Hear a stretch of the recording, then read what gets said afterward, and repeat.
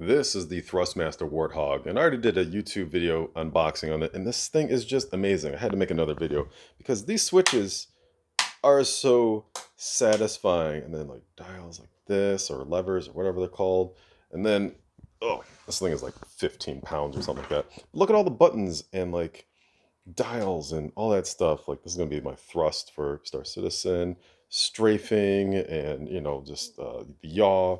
I love this so much. And then this is just so satisfying. So pinky trigger, trigger, areas for the thumbs just to do everything. And they're all so nicely spaced out that you'll never be like accidentally hitting one when you're trying to go for another. So for the last two years, I've been talking up the Logitech X52 Pro, hands on throttle and stick, but uh, it's been nice and lasted. It's, it's, it's great, but just next level now. so satisfying.